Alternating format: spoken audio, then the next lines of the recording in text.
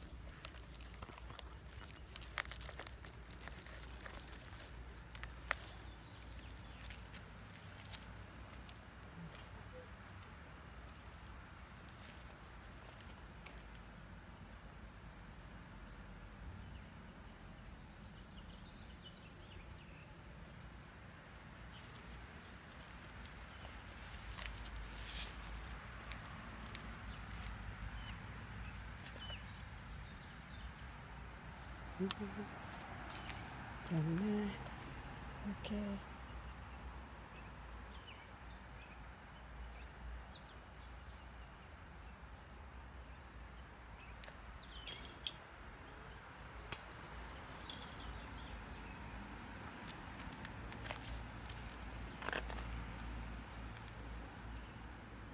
Kumalakat, kumalak, kumakalakat na itong opo palabas sa fence.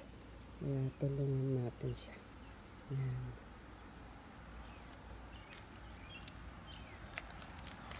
Ang kabot siya sa labas. May flower na. Namumulaklak na. Okay.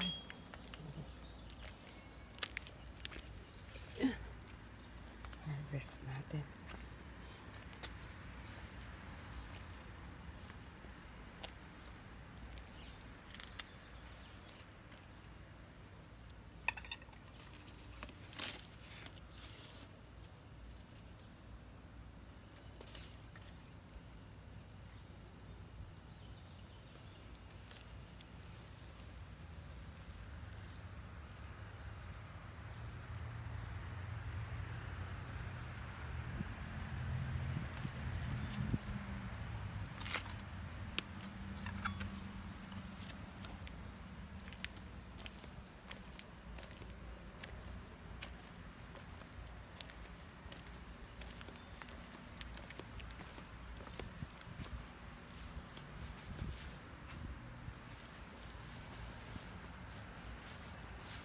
Papakita ko sa inyo yung bulaklak ng kabutya.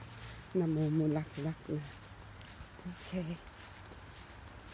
Ito na. Update. Malaki na yung hung Hungarian pepper. Okay.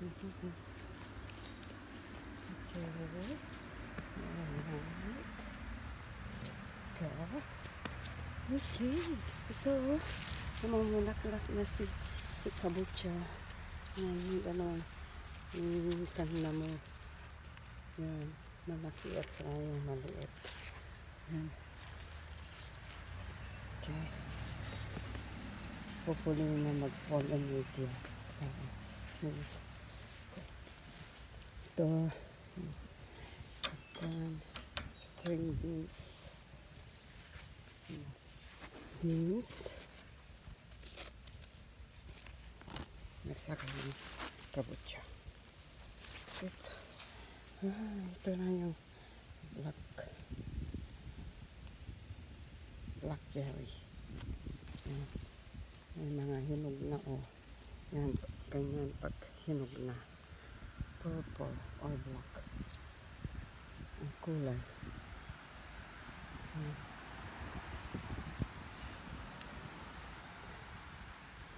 Yan.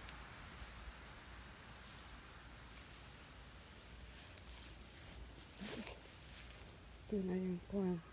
Person mag ah, anihin, uh, ano, ah, anihin ko yung, yung mga buto pag dry na sila. Oo.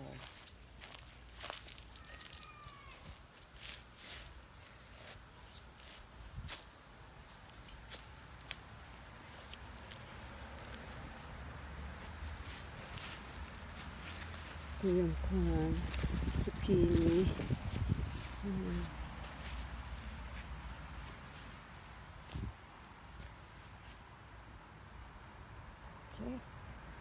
Ayan. Ang update ko na yung harvesting. Nag-harvest ako ng kamote tops. At saka yung sweet peas. At saka ano pang hinarvest ko? Yung collard green.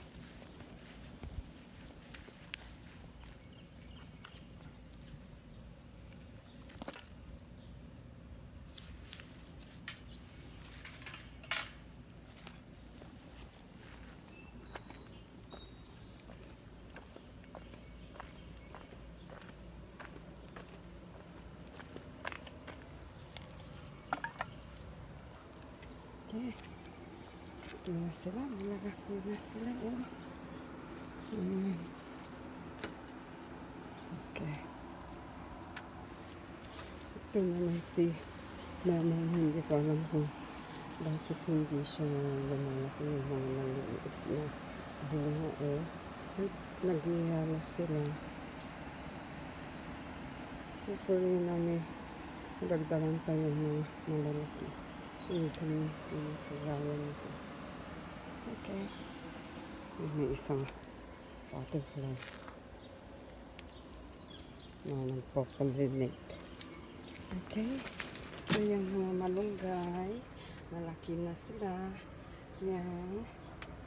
At saka yung of course yung fig cutting at saka yung yung honey moon mix hibiscus.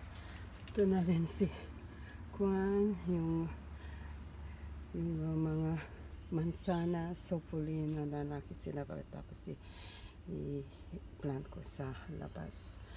Okay. Alright so thank you for watching and please uh, subscribe and support my video and, and comment below ano pa ang gusto ninyo na i-kwan ko i-upload ko. Eh, ito naman si Alumbati, oh. Nagkakalat-kat na rin. Oh, dear. Yan. Okay. Ingat. God bless and bye. Take care.